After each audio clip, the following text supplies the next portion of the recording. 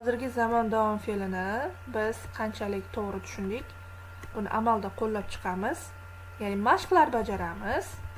Uchu bir exercise. What are these people doing? Bu odamlar nima qilishyapti? Use these verbs to complete the sentence. Ushbu fe'llardan foydalaning gapni to'ldirish uchun. Demak eat have lie play sit wait. Yemoq yoki iste'mol qilmoq bo'lishi mumkin. Have har xil ma'noda keladi. Lie yotmoq play. O'ynamoq sit o'tirmoq wait kutmoq. Rasmlariga qaraysiz holatiga qaraysiz va shundan kelib chiqib va shundan kelib chiqib fe'llarni qo'llab to'g'ridan to'g'ri emas albatta ing qo'shimchasini qo'shib ya'ni yuqorida o'tgan present continuous tense hozirgi zamon davom fe'li qoidasiga binoan gaplarni chiroyli qilib yozib chiqishingiz kerak bo'ladi. Birinchi rasmga e'tibor bering kitobni o'zi sizga har doimgidek oson bo'lishi uchun birinchi misolda o'zi bajarib qo'ygan. Demak she she ko'rib turganingizdek ayol kishi. Is to be fe'li qisqartirilgan holatda qo'yilgan. She is eating u yeyapti olmani yeyapti. Demak it bu yerda fe'l ifodalangan fe'l o'chirib qo'yildi. She is eating an apple. U ovqat e, u olma yeyapti. Ho'p bus stop avtobus bekati. Demak bu odam avtobus bekatida turibdi. Ho'p nima qilib turgan bo'lishi mumkin? Albatta kutyapti. Avtobusni kutayotgan bo'lishi kerak. Shunda he mana he hega nisbatan qaysi to be qo'yamiz? Shuni qo'yamiz. Va kutmoq degan fe'lni topamiz bu yoqdan. Topganimizdan keyin to'g'ridan to'g'ri qo'ymasdan ing qo'shini kutayapti degan ma'noni berish uchun demak ing qo'shimchasini qo'shib yozamiz. Qolgan gaplarni ham xuddi shunday holatda yozib chiqasiz. Ko'rib turganingizdek oson. Uchu ikki complete the sentence use these verbs ushbu gaplarni tamomlang va quyidagi fe'llardan foydalaning. Build qurmoq ko'k pishirmoq go bormoq have e, boya aytib o'tgandek buni ma'nosi har xil bo'ladi. Ba'zida iste'mol qilmoq bo'lishi mumkin. U bilan keladigan so'zga qarab. Stand turmoq stay e, qolmoq swim suzmoq work ishlamoq.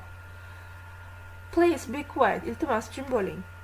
Tinchlik saqlang degan ma'noda. I'm working men ishlayapman. I'm working i to be fe'li qo'yildi faqat qisqartirilgan holatda demak work fe'li ishlatildi. Va ishlatilgan fe'l ustidan o'chirildi va ing qo'shildi working I am working. Where is John John qayerda? He is in the kitchen u oshxonada. Demak John qayerda? U oshxonada. Oshxonada nima qilishi mumkin? He demak mana shu gapni holatiga mos fe'l tanlaysiz va qo'llaysiz. Shunday ma'noda keyin gaplarni ham bajarib qo'yasiz.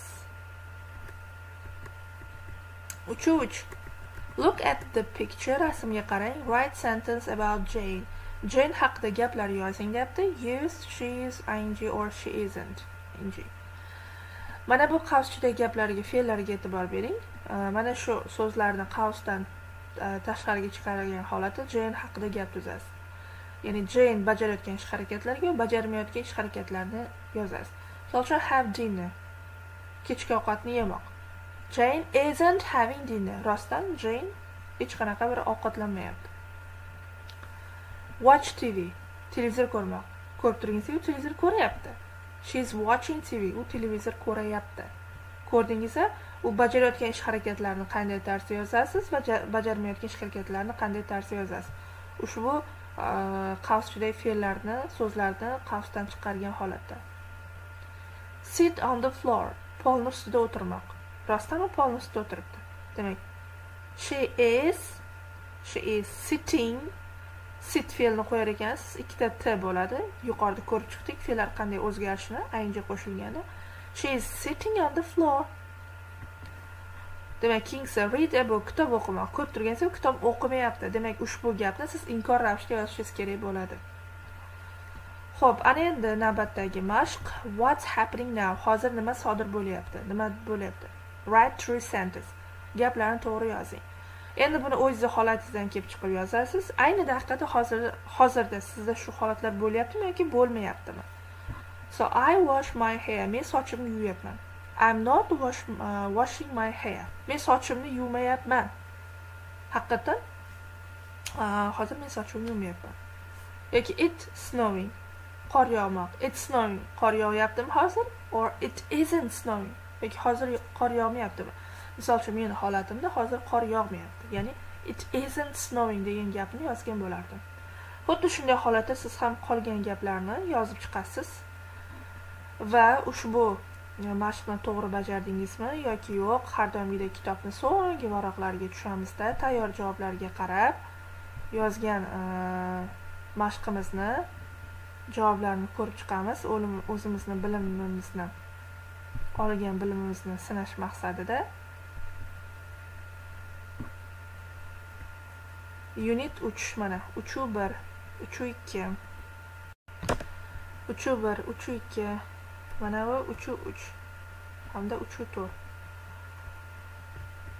Mavzu yuzasidan sizda savollar paydo bo'lsa marhamat izohlarda qoldiring. Tushuntirib berishga harakat qilaman. Keyingi darslarda ko'rishguncha.